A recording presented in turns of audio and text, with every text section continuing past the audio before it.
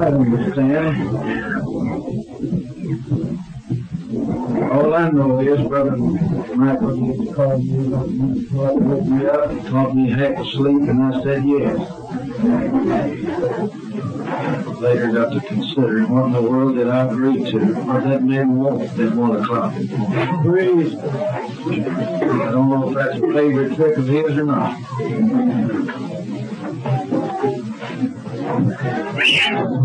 I was uh, told just the other day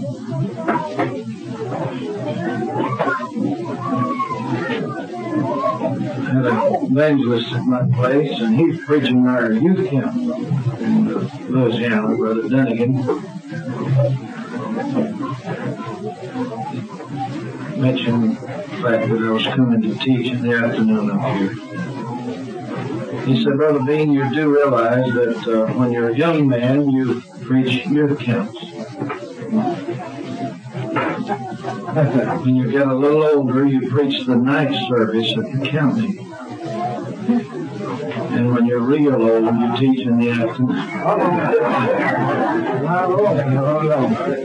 Help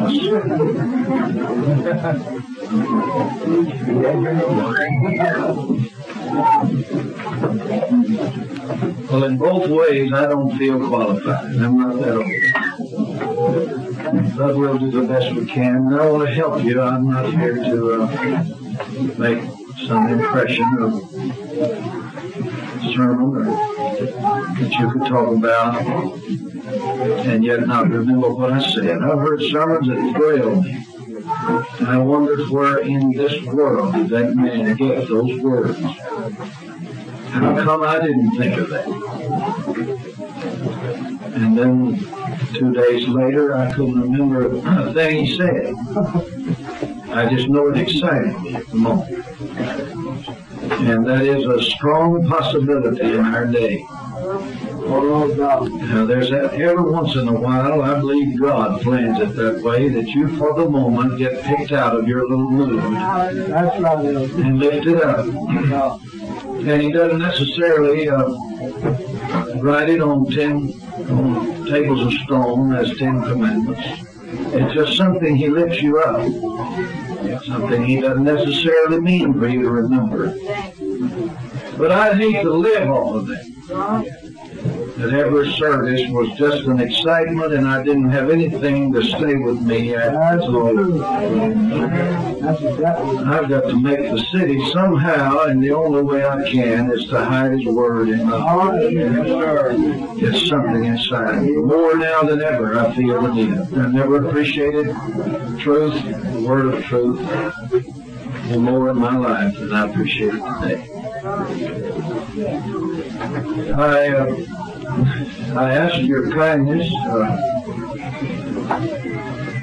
some of the things that I feel on my heart seem so very simple, but uh, I can't help it. I, I feel like that sometimes this probably is what we need more than we need some elaborate message. I'm going to the book of Proverbs, and I don't know of anyone here that hasn't heard this mentioned at least one time or another.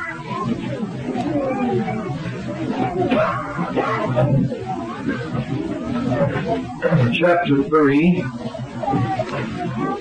and let's start with the first verse and go through the fourth verse.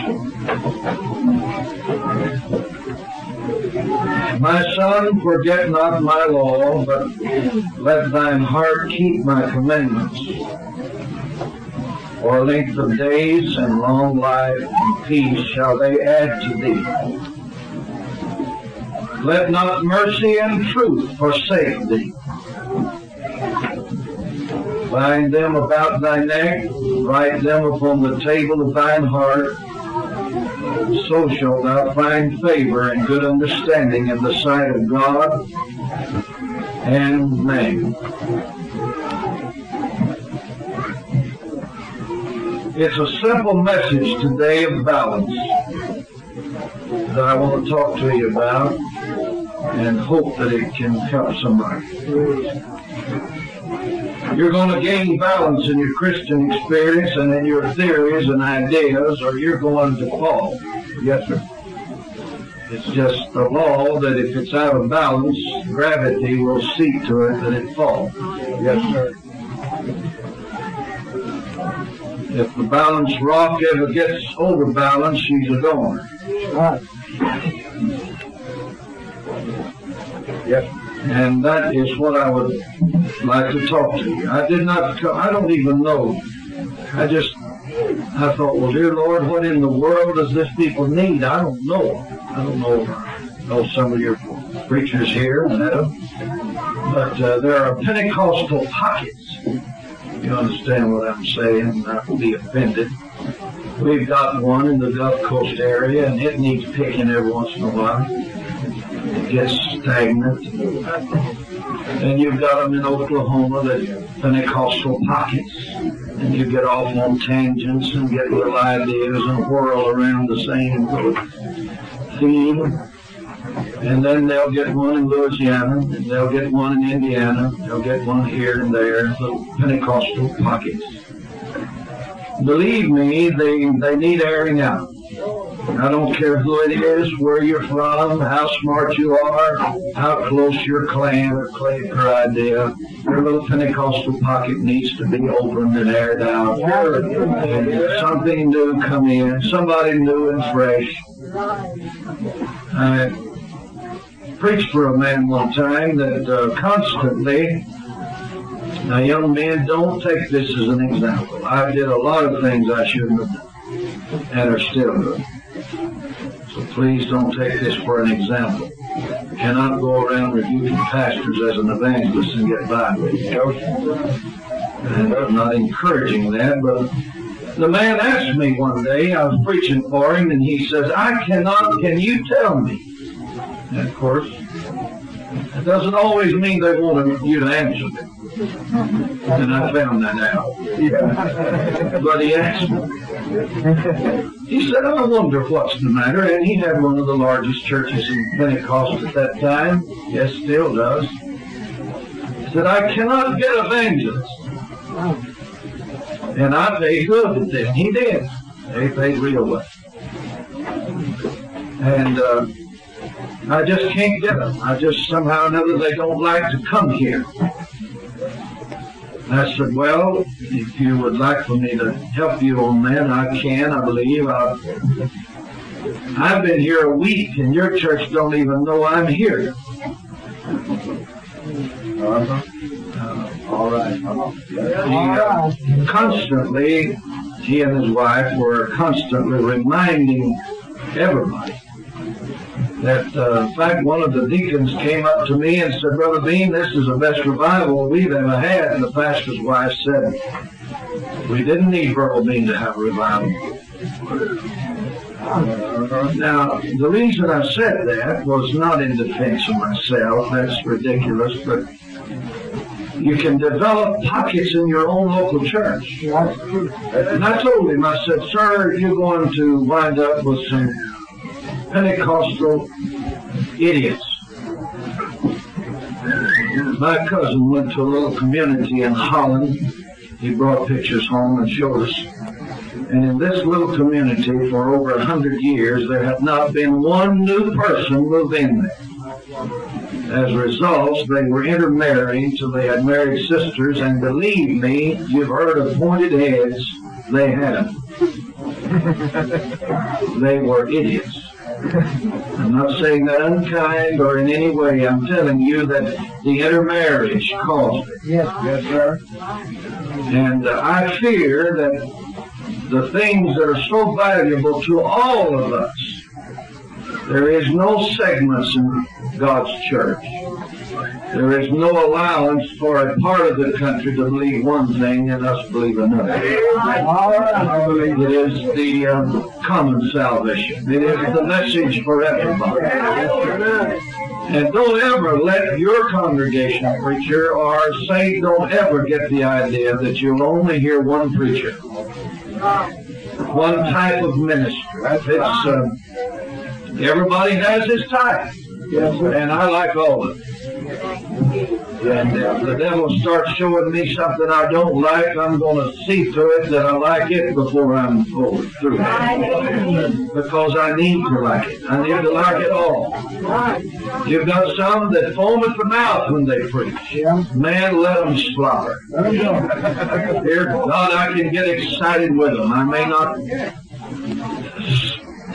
Well, then I've seen them so slow you wondered if they'd ever get started, and sure enough wondered when they're going to stop. Let them go. Let him go. Yes, sir. We need balance. Yes, sir.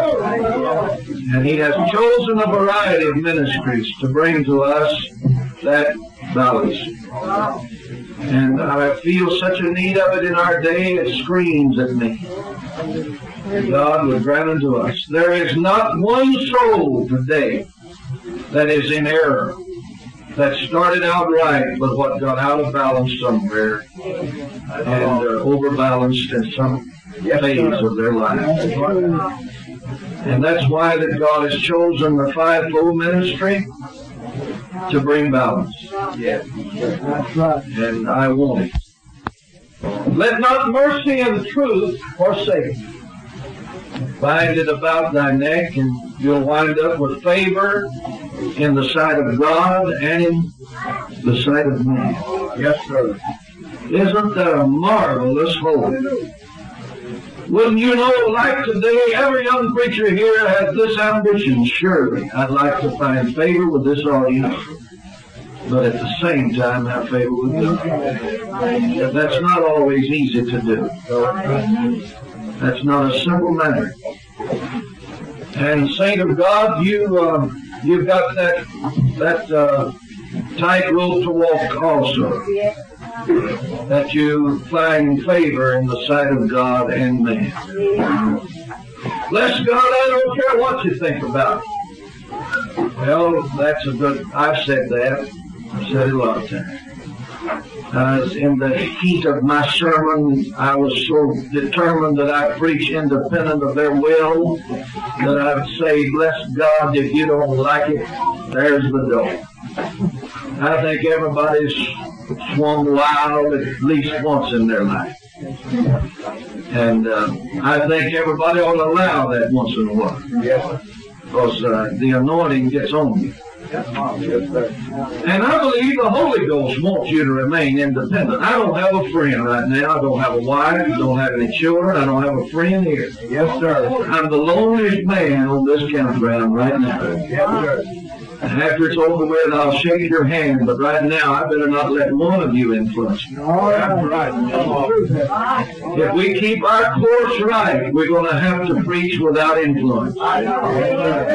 In church, you should never want your preacher to be influenced. Even the times you express yourself underneath that ought to be in your heart. Please don't listen to me, preacher. Tell me what I need to know. Mercy and truth. It would be a marvelous thing. We would be far, far into Canaan's land today instead of wandering in the wilderness of confusion and ideas. And if we could have received balance a long time ago. I'm not saying I it. I'm not saying that I've attained it. I find myself at times taking those things that I personally enjoy and staying with them. A preacher can do that. He can uh, read the Bible with one thought in mind. I want this type of sermon, and I enjoy preaching that time. If I had my likes or dislikes today, I would, uh, I guess I'd preach on the condescension all the time. There is nothing more beautiful to me than the fact that the high God of heaven became a man. Oh, yes. Oh, I can get excited preaching that, and I'd find that in every verse if I would let myself. Just about every place I'd look, I'd be looking for condescension. And uh, I like it. But that's not healthy. It's not right that I should preach what I enjoy. Right. It's uh, it's good once in a while to just cross everything in your nature Right. and uh, let God take over and feed us what we need to be fed. It's not good for you to desire certain sermons. I preached one time in a church that uh, one God and uh, Campbellites was all they ever heard. I don't say that unkind. The man was great, built a great church, and all of that. But uh, if you wanted to excite that audience, uh, head out against the Campbellite and preach one God, and you had them, I mean, that is on their tiptoes. But when you preach the burden for the lost, they would go to sleep on you. They'd sit down on you. They wouldn't hear you.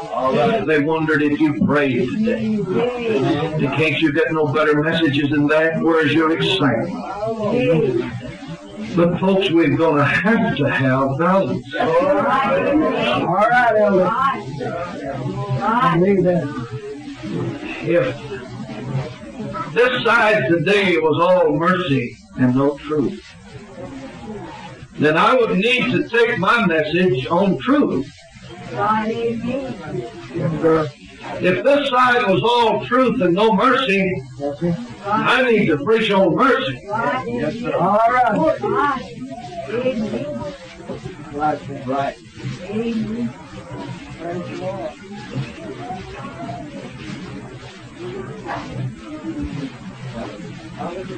And I may shock you today, and it's dangerous to preach like I mean, the operation I'm fixing to perform is dangerous. It's worse than cutting your gallbladder. I mean, it's close to your heart. It's close to your brain. I, one slip of the knife, and I've ruined you. I've made you misunderstand every purpose of the message. If you don't listen carefully and aloud today, then I, I'm in trouble Because it's a tedious operation to bring to one group of people mercy and truth. While you're trying to show mercy, those who love that more than they love a standard or love message, they're saying, that's my man. And that's all they heard in that message. They never did hear that other part. Yes, sir. Those that love, that's God, you're going to do it or go to hell. And I get on that line and and they say, that's my man, and they didn't even hear that other part. They heard what they wanted to hear. But can I beg you to hear all of it? It's the conclusion of the matter that makes the difference today, the great wise man said. Let's hear all of it. Let's study it all. Let's get it blended. Yes. God is a, is a perfect blend of mercy and truth. He is a perfect blend. I had a little experience. I think I've told this in a, maybe a church or two, but if, you don't mind, let me uh, rehearse it. That helped me a whole lot. I uh, was driving down Interstate 10 going into downtown Houston, and I got uh, one of those little boys with a red light came up behind me and motioned me to pull over. I was speeding. Sorry, but I was. I did it. You have too. That's right. That's right. Don't let mercy leave you right now. Because I did. Oh, I wouldn't speed for nothing. Well, I'll get on your problem after right.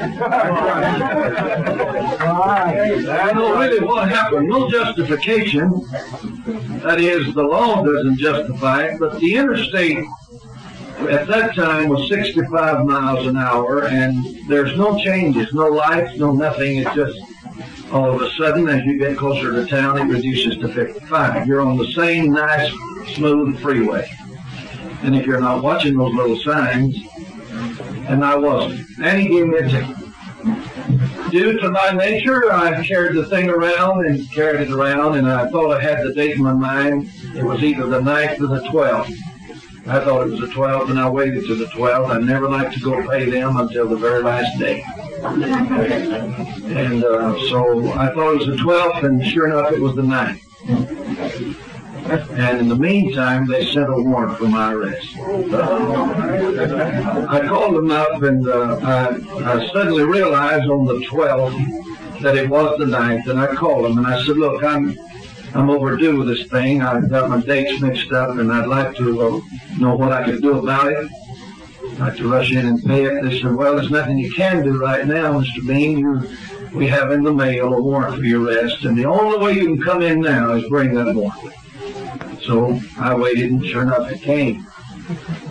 And I went into that uh, building, but my eyes fell on the cornerstone. As I walked up the stairs, there's a cornerstone there that says, Justice with Mercy. And I walked on in the building. That part of it sounded good. And uh, I was talking to the party there, and they said, "Well, with this warrant, you'll have to go over here to the officer, and and he'll take care of the warrants." So I go over there, and of course, in the meantime, the ticket has increased from fifteen dollars to twenty-five.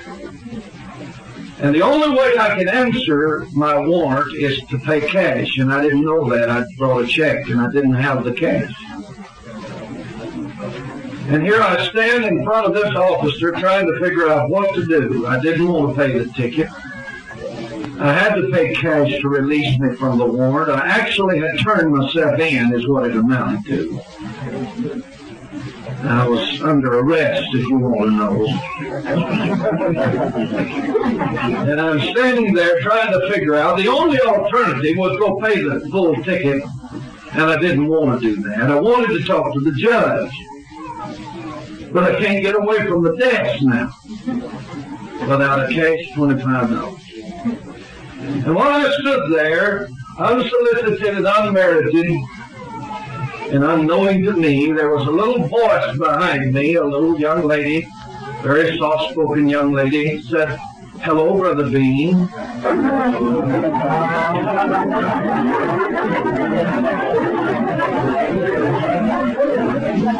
And I turned me about to see. And this smiling little face looked up at me and said, Looks like you're in trouble. I said, Yes, ma'am, I am. I quickly explained to her what my problem was, and I said I would really like to talk to that judge. She smiled and says, uh, I think that can be arranged. I'm the judge's secretary. Said I just left his office and no one was in there, and she looked at the officer and said, Hand me the pink slip. And boy, he looked at her and he, he didn't like that, but he handed her the pink slip and she signed it, which released me from my warrant. She said, Follow me. And I followed her down along the hall and came to an office and she said, Stay right here. She went on into this judge's office. I heard her talking. Reverend Bean, I know him. I didn't know her. Didn't know she existed. She had heard me preach at one of the churches. And after a while, she came out and said, Brother Bean, you can come on in now. The judge will receive you. And I walked in, and this mammoth office, big long desk, and him sitting there, and he invited me to sit down, and I said, Judge, I noticed on that cornerstone out there a sign that says justice with mercy.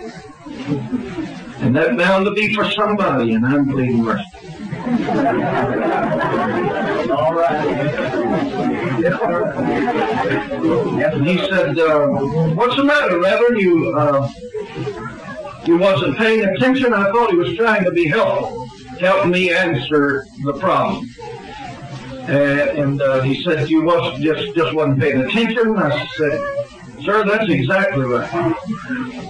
Uh, that's what happened, and I explained. He said, well, the, the shame of that, Reverend Bean, is that most of the people that come through this office are good citizens like yourself, but they just didn't pay attention. And he said the only way in the world we can get them to pay attention is get in their pocketbook.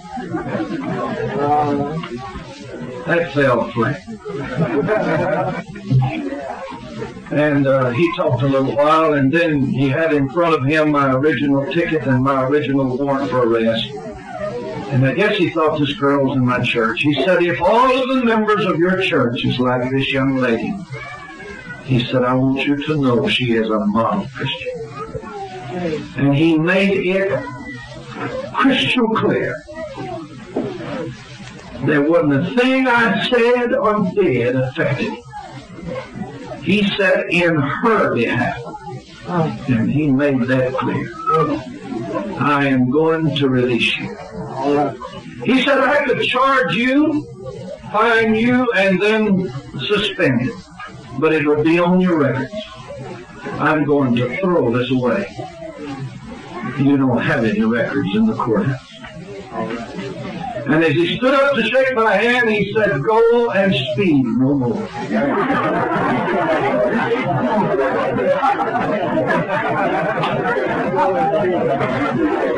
I nearly left that office talking in tongues. Not just because of the $25. No. But I had seen my life unfold in a matter of an hour or less. Yes, sir. Every one of us were guilty, Yes. and through neglect, our ticket was increasing, adding sin to sin. It was growing every day through neglect. There was a warrant for arrest appointed and the man to die, and after that, the judgment. You, you got it on you, the sentence is there today. The only way to clear it, and we couldn't do it. I didn't have the cash, I couldn't have done it. If they was going to shoot me, I couldn't do it. The only alternative was to pay the fine, and that was eternal damnation. Unsolicited, unmerited, didn't even know the girl existed. In split second timing, she found me Mm. and said, looks like you're in trouble. Signed my release and carried me to the judge's private office, and that's the best place to talk to him. Don't wait till there's a crowd there. Don't wait till he's sitting at his desk or on his throne. She went in ahead of me and had me wait till she prepared the way. And then brought me into the house that says on its cornerstone, justice with mercy. And I pled mercy and. I tried my excuse, my little self-righteous act, and he knocked it flat and said it won't do. But in behalf of her, Yes. I totally wipe it out of the record. You can't go to Houston today and find where I've got a speeding ticket, suspended or otherwise. My Lord. That's the dream. Praise the Grace found me. Mercy was standing behind me when I didn't even know it was there. Split second timing. You should have been two minutes late or two minutes early. Should have missed me. But he knows where I'm standing today. He knows where I'm at. And he knows the way to hallelujah, that altar of prayer and that private room of mercy and grace. Yes, sir. Grace led me there. I need mercy, you know it. Hallelujah. Yes, sir. Don't let it leave me. After I found it, don't let me forget it. The next time I went to that girl's office, I didn't go by the desk where you pay tickets, nor the warrant officer's desk. I went straight to her office. It was in behalf of someone else who had failed. I knew the way this time. Yes, sir. I could go this time for somebody else because I had been there. Amen. Praise the Lord. Hallelujah. Hallelujah. I need mercy. But don't let your mercy become a sense of sympathy. Don't let it become so humanitarian that it spares the aged or the youth or the crippled or the faraway people or the poor. If you're not careful, you'll have all mercy and no truth. And the foreigner will be left to die in sin. Oh, old Aunt Susie, because she's old, well, you just can't bear the idea that that dear old darling would have to go to hell. Friend, age doesn't save you, and death doesn't transform you from saint, from sinner to saint.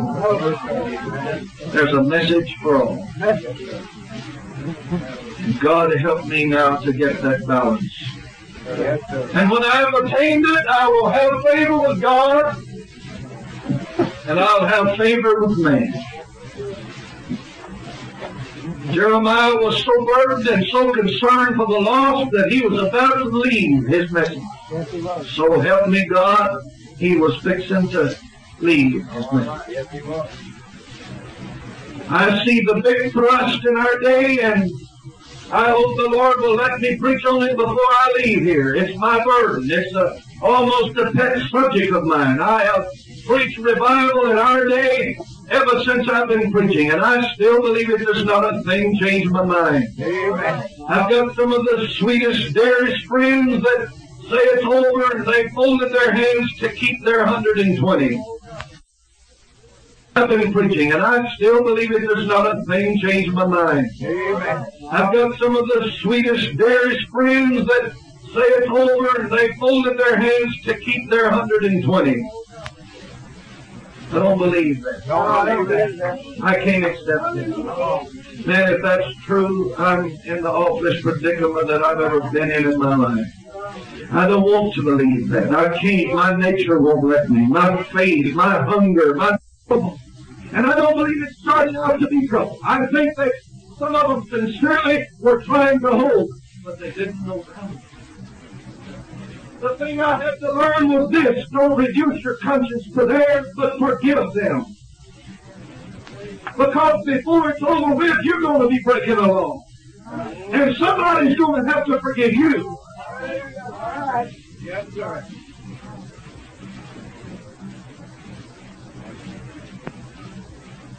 If I, for the sake of peace, say, well, I'm not going to cause him trouble, so I'll just succumb to this idea. You let down the message. There is such a thing as holding the truth in unrighteousness.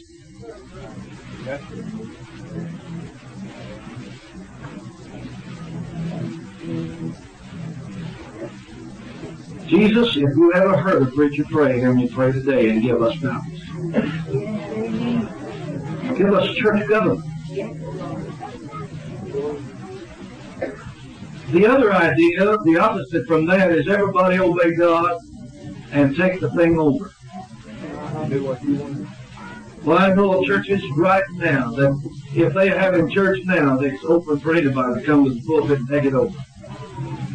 That's the opposite extreme.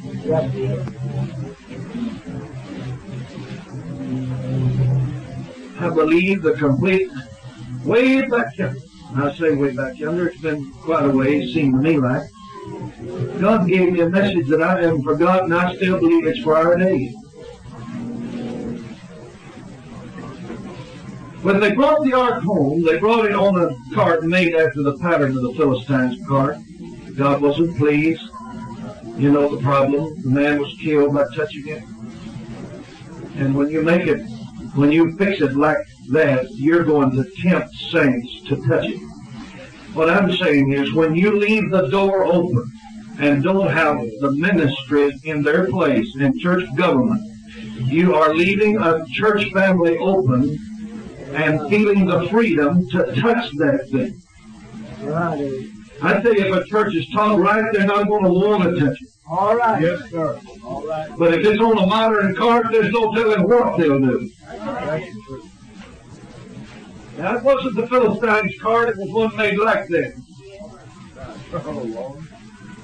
All right, David got mad.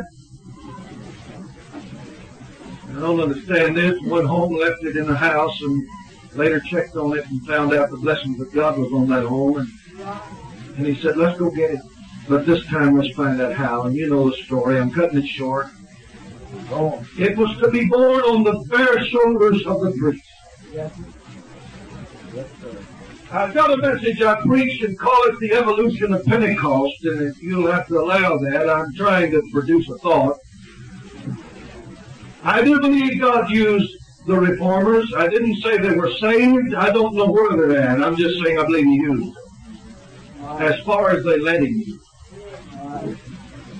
I really do. I believe just as much as the Philistines could keep the ark, and yet it didn't fit, it brought ju- judgment, it brought problems. I believe that different men in our bygone days have used truths. But when that ark was taken, they set it beside Dagon. Dagon fell over and broke, left the stump, and that's what we're fighting today is the Trinitarian idea is the stump of that old Dagon that fell back yonder. I wish they'd have knocked it out by the roots and wouldn't have had no problem with Trinitarians today. But the stump was there. They said, get it out of here. Well, it went over here and the sores broke out. And they said, get it out of here. Went over here and they said, we can't stand it. And that one can't stand it. Finally, Joshua the Bethshemite said, we're the rightful owners. We're kinsmen and, and we can take it. And he took it and opened it up and let everybody look at it and 40,000 men died. And he said, to whom will it go up from us? And who can stand before this holy God? David said, we're the rightful owners. We'll get it. And before it was over with, he decided he, it was too hot for him. What I'm saying is the constant evolution, the process of the dark ages, the time of the falling away when truth went into complete oblivion. Now then the steps back, Martin Luther, the whole bunch brought a step by step. I didn't say they're saved. Don't go telling Brother Bean said they're saved. But each step, but each one of them got to a point and said, we can't go any further. Yes. That's good. Right. And you know that it came to our friends, the Assemblies of God, and they offered us this. The Methodists offered shouting and talking in tongues and falling out and praying for the sick. And, and a little was added to that, and it was called the Assemblies of God. And then first thing you know, one this group came into being, and, and there was still a lot of Trinity in that. One of the former leaders of that first group that evolved out of Trinitarianism told me one time, he said, Brother Bean, you do believe the Trinities are going to be saved, don't you? I said, no, sir, unless they're baptized in Jesus' name. He said, you ought to be ashamed of yourself. Get out of those fellows. In fact, the same man told me, he said, I don't even believe I'll go in the rapture. We'll stay here and help the Trinitarians make it in during the tribulation. My Lord. What I'm showing you in the evolution, you see weaknesses. Finally, it strengthened, strengthened, and strengthened until it was more than a little blessing. It became a necessity. And baptism in Jesus' name. Oh. But here we, listen. The reason I contend we've got to have a revival is I have never seen the restoration of the church. Yes, yes.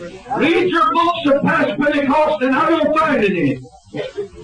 They had their gifts, they had all of that, but while they had it, they were still believing the Trinitarians were saved. There still wasn't church government.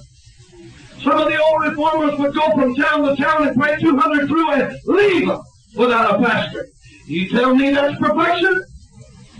I say we still got to have a revival. But you know what God had to do? He had to bring violence to the church. Yes, sir. Maybe, maybe I rushed too fast through that and you didn't get the point. I, that's a two-hour sermon and I tried to give it to you in three minutes. I say that we evolved, evolved, evolved, and each time something was strengthened. Until the point we received the revelation of oneness again from the original church. We received baptism in Jesus' name. We received the talking in tongues of necessity. We received the gifts of the Spirit. We received holiness. We received all of that. And now, the lacking part was church government. You can say what you want to, they didn't have it. I give honor to every old time preacher. One of the oldest men in Louisiana stood up one time and made this statement. He had established, I think, oh, I don't know. There's no telling how many churches, I say established. He went and prayed hundreds through in Louisiana, but he stood up and said, I made a terrible mistake. I never stayed with one of them. And they faded away.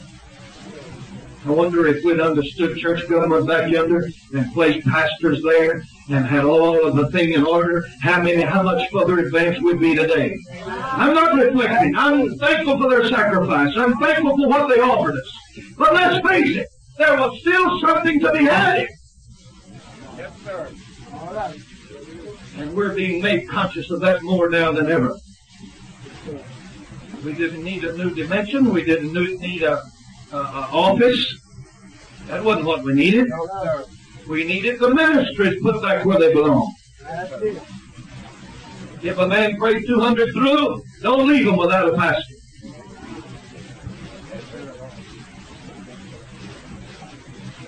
I believe we are at the point that we could have that total revival. I really believe. it. I think we are church government enough conscious enough. I believe we're holiness conscious enough. I believe we know the necessity of the Holy Ghost enough. If we could get now the balance Yes. of evangelism and church government and holiness, we are at the point that we could go the farthest that any group has ever gone.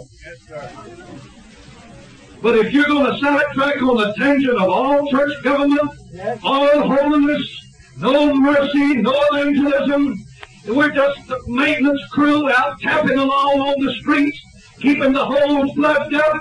And another says, oh no, all we need to be doing is take a bulldozer and go right down through there and open up new roads. No, we got to have those. We need that maintenance crew keeping that road up, and we need that bulldozer making the new road. Brother Bean, are you trying to talk out of both sides of your mouth? No, sir. I'm saying with the best what we've ever been to have a revival. If you're willing to say my little ideas, I've got to throw them down. I've got one little subject I like, and that's evangelism. You better like holiness with it. You better like baptism in Jesus' name with it. You better like the whole works. Let's bring everything up to date. I didn't say bring it up to date. Like it. When a man's preaching holiness, I like that as much as I do baptism in Jesus' name. I can get as anointed to listen to that as I can any subject. When a man is preaching church government, that chills go up down my spine.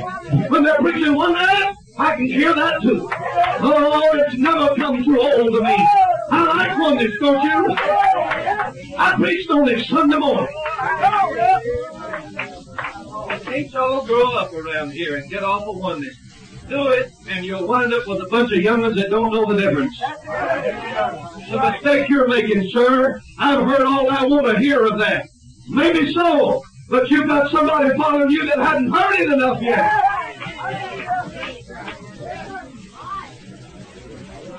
Hallelujah.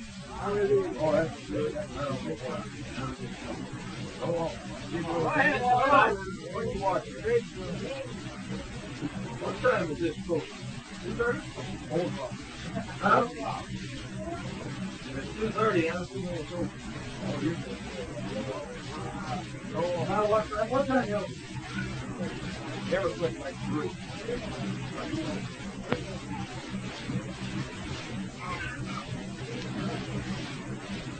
It's hard for me to believe. Look, can't I help you? I want to revive spread I can understand. But I don't want one of these blossom mushroom things that'll die. Have us falling and begging and us knocking around and pleading with God in a revival one time. And we'd gone a bunch of weeks and I couldn't pray. and I don't think we prayed but about 20 or 30 through and I was about to die and I was complaining to God and He stopped me one day. And if I ever had a whipping, rebuking, stern talking to, He said if I gave you what you wanted, you would destroy this church. If you had 100 new souls with all of their weaknesses dropped in the lap of this church that's got adulterers, that's got whoremongers, that's got rebellious hearts, that's got. Now take all that weakness and put it in the same pot. Yes, sir. You may not think God talks in these terms, but He did to me. He said it's pouring water in the soup. Water, water. Yes, sir. He said, let me build the foundation and then you can go as high as you want to on it. All right. If you'll build a foundation, that building can't be hardly built too tall. But these little jerks that want to get up and quickly have a revival and a mass outpouring and a mass outreach, but don't want to bring anything up to date, son, you're headed for a ball. And the church that's looking at some bunch over yonder have a big thrust, and you don't know how many of them got the Holy Ghost. That Catholic bishop was saying, Holy Mary, Mother of God, too fast. He didn't get the Holy Ghost.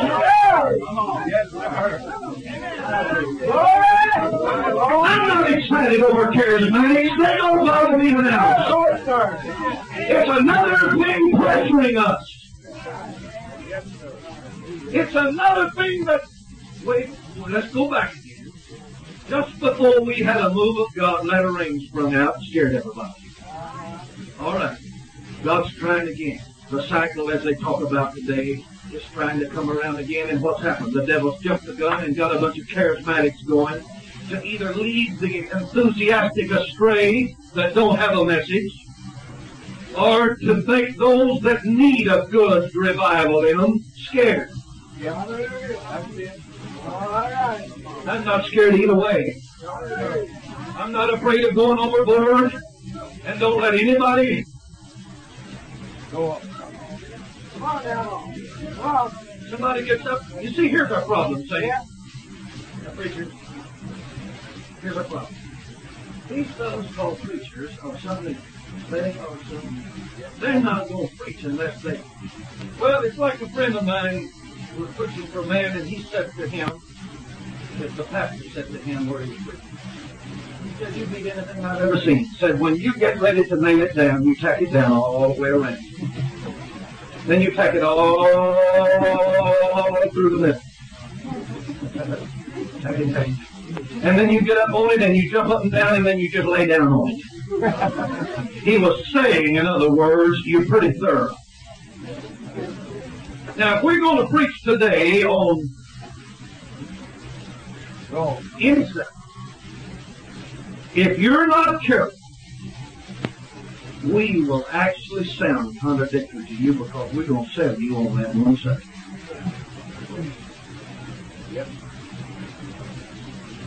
You understand what I'm saying? All right, we're talking about no sin, no sin, no sin. God will judge you. God's judgment, fear of God. And if you're not careful, you'll actually forget there was a cross. Because we're making it look so serious than it is for you to see. Turn right around, and if we're not careful, preaching on the love of God and forgiveness, it'll make it look like you could do anything you wanted to do and get by with it.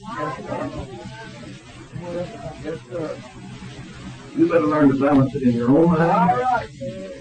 Don't forget the cross and mercy, but don't forget He also said, "Shall we continue in sin that grace may abound?" God forbid.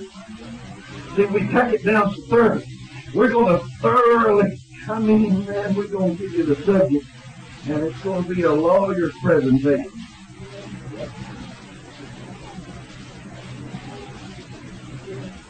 All right. If if I want to preach on worship today, if I'm not careful, you know what I'll do?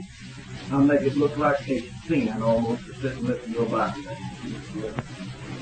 Why, them old carnal people that sit around listening to Bible lessons ought to be up jumping up the pew. Aren't y'all spiritual around here? Bless God, I believe in the Holy Ghost. Come on, obey the Spirit. By the time I finish with that, it looks like word don't mean nothing. But if I'm going to teach that you need to hear the word, it almost sounds like, shut up, hush. Uh-huh. But we're not going to, if my right arm needed exercising, I, I wouldn't cut the left one off to exercise it, would I? I'm to be sure that right one gets it so whack. See, we could get a little exercise. Yes, sir. Let's leave a door open for something else. Yes, sir. Hallelujah. Amen.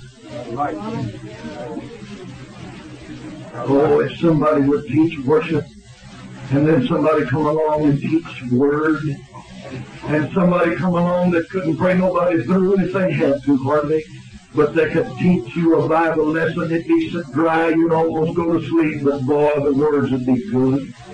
We've got very little place for a teaching ministry. First place, pastors don't want them because they didn't pray a dozen tithe payers through. Wait a minute now. Come on. We better make place for that or we won't have a complete revival to close this thing out. Yes. Bring that old dry man in and let him write up his little chalk, what do you call him?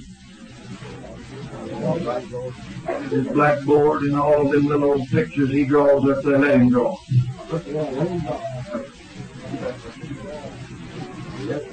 Next time you get that young evangelist that eats the microphone, choose it. And quit picking your likes and take all that God's got in His church. Yes, sir. And we'll have a revival. But we're spending time climbing back to where we were because we didn't bring everything up to date. We had a little revival and lost it because there wasn't enough to establish it.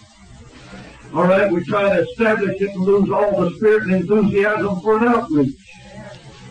Listen, I believe I can be taught how to live consistently, just pure old day-to-day living, and then the next night hear how to go reach the lost. Can I, have, have I got a heart big enough to take all of that in and apply it?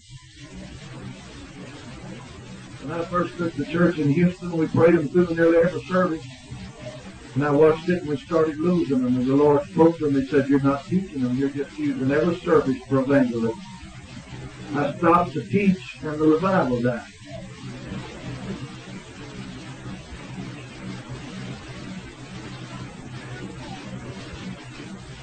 A lot of it is the fact we're not prepared for that battle.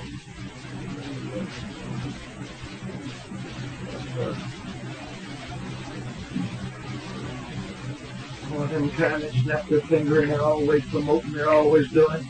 But you better watch the holiness. Them girls, he hadn't even stopped to think about how short the dresses are.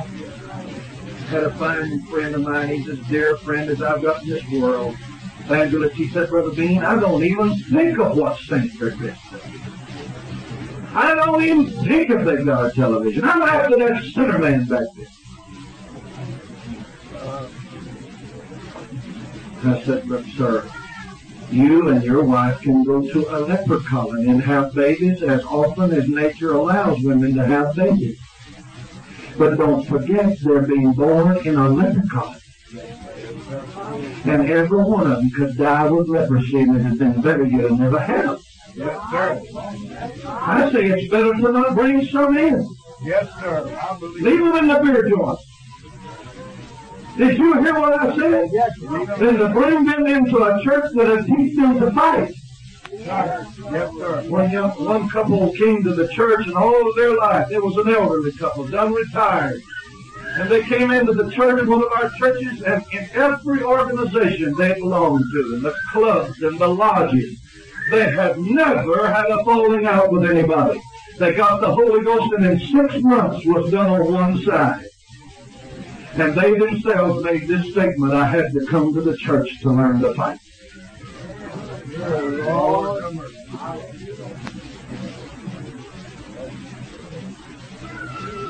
No, I, I'm reluctant to go pray them through when I know the pastor will not teach the message when I leave. The church will not live holy. There's adulterers in the church. First thing you know, one of them adulterers will grab him.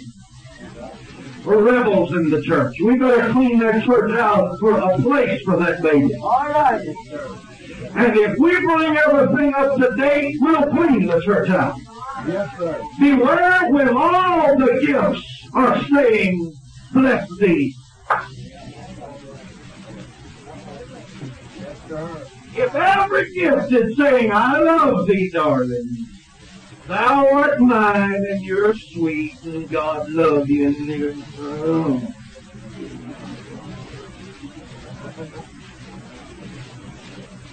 I'm scared to death of that. Sir. Didn't say God would comfort you with a gift. But don't misinterpret the word edification. Some was the best edification I ever got in my life, like to kill. I want to repeat, beware when all of your gifts brag on you. You better have one come down through here one of these nights and say there's sin in this church. There's wrong over here. Repentance needs to be made. What do you think he meant when he said? Okay, here comes a sinner in the church. And the gift is operating. And before it is finished, It's got that sinner on his face saying, God is in this place because it's revealed the secrets of his heart.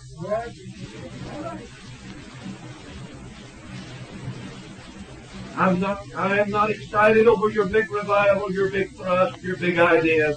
If all of your gifts are saying nothing but, thou short-dressed girls, I love thee.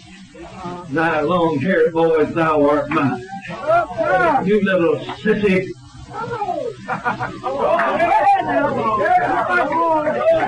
I love all of you darling sissies. All of you little effeminate men, thou art my sweeties. No, sir. All right. Come on.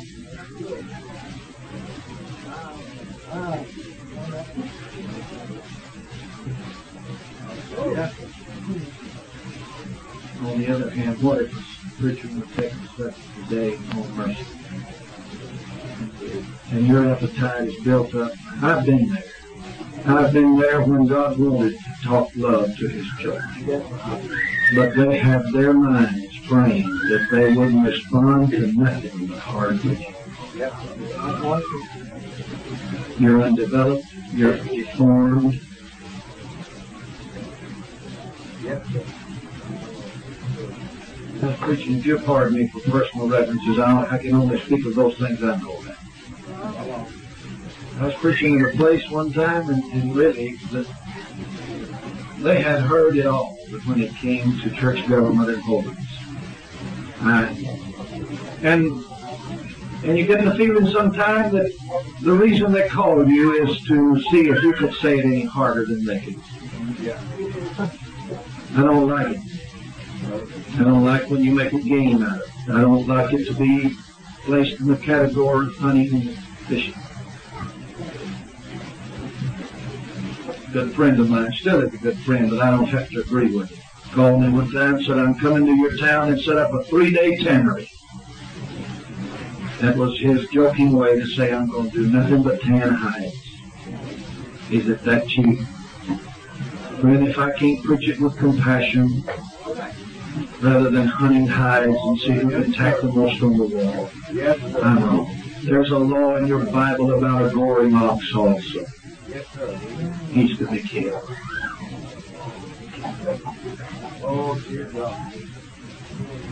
Don't reduce it to that. Preach it straight and hard, but love them while you're doing it. Saints, shout over holiness. There's some that really likes it if you're going to challenge a Campbellite. Just like holiness. Yes, sir. Yes, sir. Knock it off. Paul said, I'm back at the travailing bench, and it's because of one thing. You did not allow yourself to be developed. I travail in birth again till Christ be born. Till you come to the full stature of a man in Christ Jesus. Listen, God never made one thing, not one thing, that he did not make the law of maturity in there. There's not a tree out here that God let grow that he didn't plan to mature when it became an acre. In the process of putting the right thing in that seed, he said, you'll be a great oak one day. Everything is planned for maturity, and so is the church.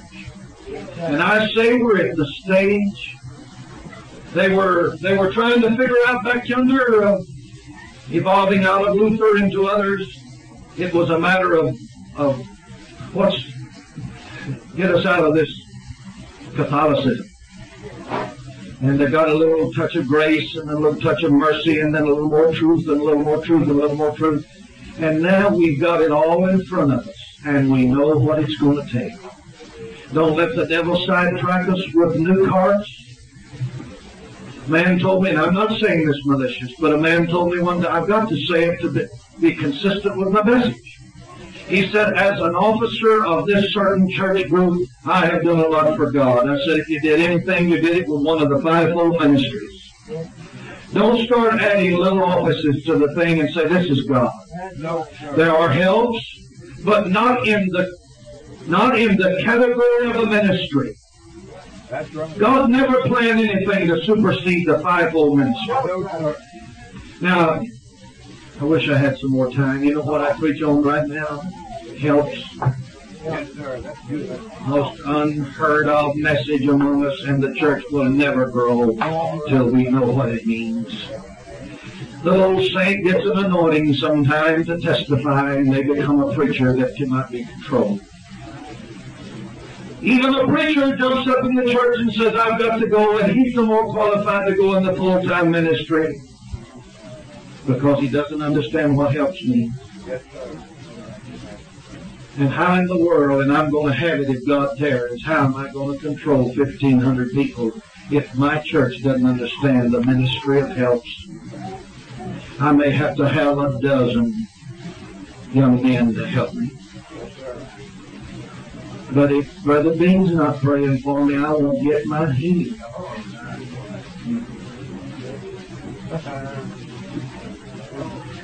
Brother Bean didn't come to the hospital to see me. I'm offended. They just sent a helper up here. You little selfish, undeveloped. Where is your vision? Why couldn't you let that young man help like the Bible calls for and pray the prayer of faith? You come on back to church and shout about it and give God the praise, no matter who did it anyhow. And let's let's scatter this thing out a little further. Oh, yes, sir. You know the reason why we never have got more than 250? Why there was a time in Pentecost that was the largest church and you couldn't get none no bigger that. This is the reason. We have no place for help. There's no place for anything but that one, one, one man. He's got to do all of the praying, all of the comforting, all of the handshaking, all of the car buying for you, the everything, or you are hurt and offended. You better grow up because this thing's fixing to run off and leave you. All right. I haven't got out of church government. Listen, there's a pastor over all of this, but there's helps in your Bible. It's there. Don't hide your face from me, dear Lord. Hold my hand. Oh,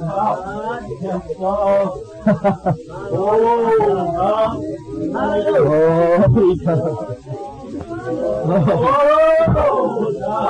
please. Please. I just could scream tonight. I could scream.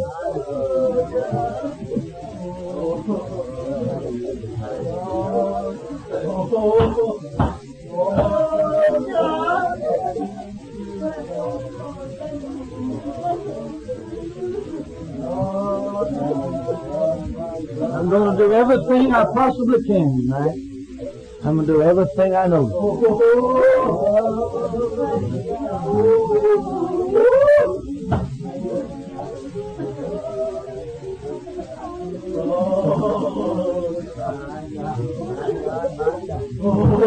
I've been standing looking down a narrow trying to find mà quay back home.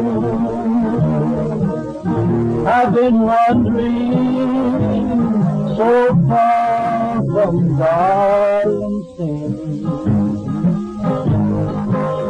But the same road will lead me home again.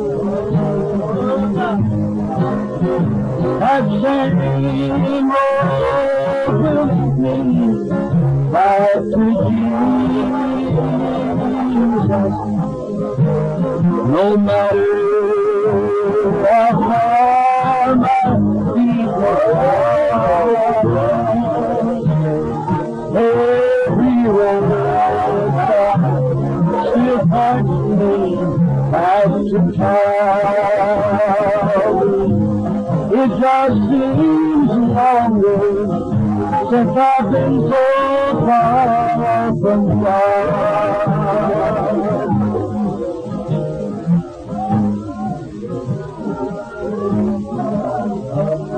Somebody's looking down the road tonight. The further you go down it, the more danger you get into. That same religion back to Jesus.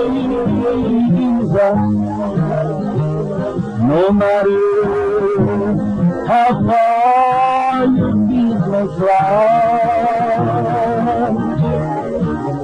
every roadside still points you back to Calvary. It just seems longer since you've been so far from God. I've been standing looking down a narrow road. Trying to find my way back home. I've been wandering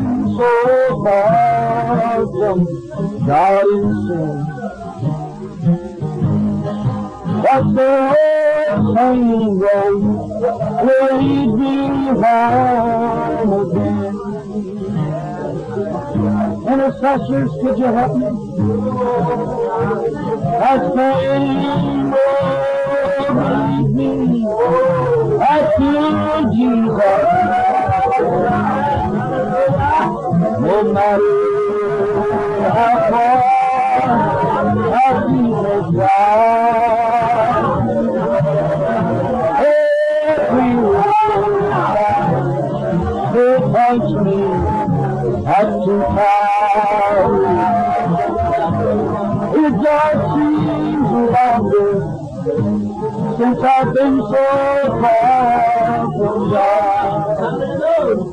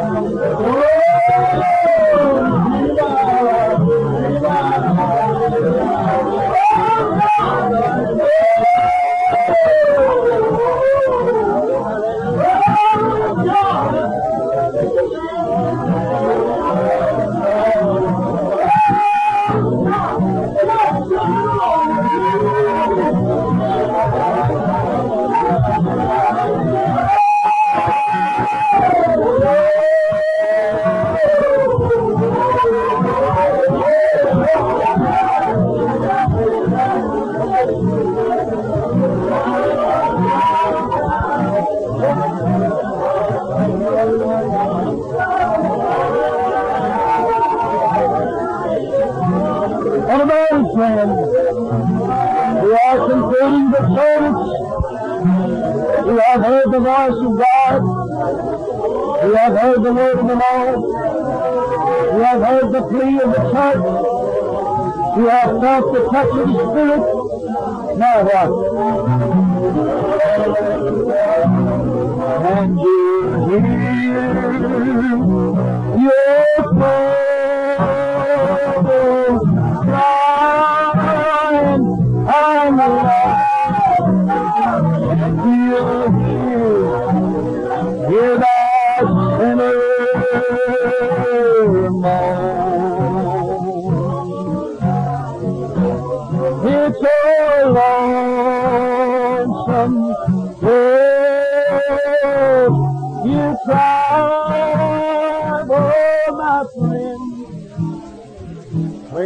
travel